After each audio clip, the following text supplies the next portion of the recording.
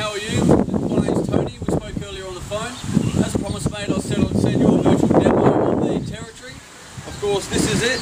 Uh, like I did explain, the cars that do come out here are immaculately presented. The tyres are good on here, has good tread, no dents, scratches or anything like that.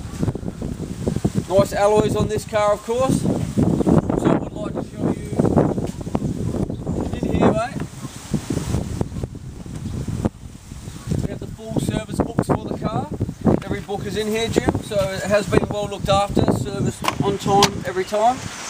Inside's a nice interior, nice seats. The seats in these things, Jim, are very, very comfortable, mate. These are just built for driving and, of course, for towing. Again, I come around the back here, mate.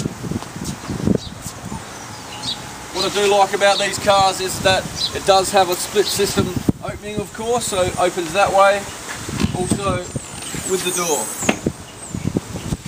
Interior being nice and dark, of course, it has a little bit of storage underneath here.